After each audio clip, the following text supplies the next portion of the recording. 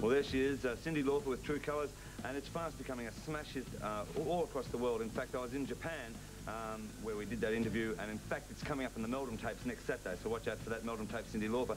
In Japan, I saw her perform at the Budokan. Now, I would say 95% of the audience there uh, don't speak English, but they absolutely love this lady, and it was quite an extraordinary concert. It was her first concert for 18 months, uh, and she'd only rehearsed with the band for about uh, two weeks and it was a very powerful performance. And I tell you what, when she comes out here, uh, you're going to absolutely love her. And when you consider also the support act is Nee, it's going to be one hell of a night of, of entertainment. So watch out for a Cyndi Lauper. If you haven't got your tickets, then you're absolutely crazy.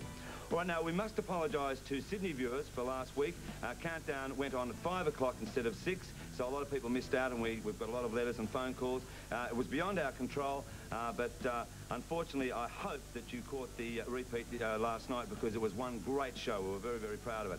But uh, we, are very sorry to the Sydney viewers because, as we say, it was beyond our control, and it was on at 5 o'clock. We hope it won't happen again.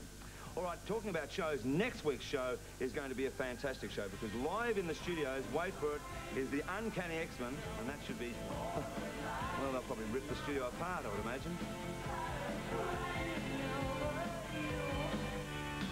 Also the Hoodoo Gurus and a couple of surprise acts as well. So Countdown next week is a live show and it's going to be a beauty. All right, uh, as I said, uh, Cyndi uh, was great in, in Tokyo, so she, she just can't wait to get down here, but it's back to her now. Over to you, Cyndi. Boom.